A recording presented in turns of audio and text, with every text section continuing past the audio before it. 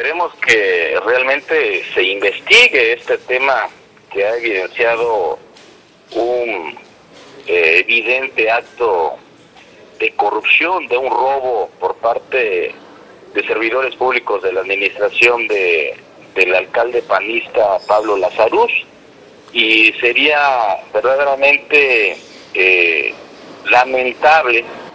que termine siendo cómplice y que este hecho pues en flagrancia pues viene a evidenciar que se siguen dando actos de corrupción en la administración y que él es el principal responsable y que él tiene que poner mano dura y que coincida y que sea congruente el dicho con el hecho. Lo hemos dicho, quien calla eh, solapa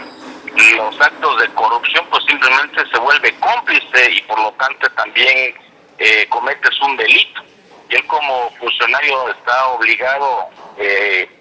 con toda la responsabilidad moral, legal, que para eso tomó protesta, de salvaguardar y cuidar los recursos y el patrimonio del ayuntamiento.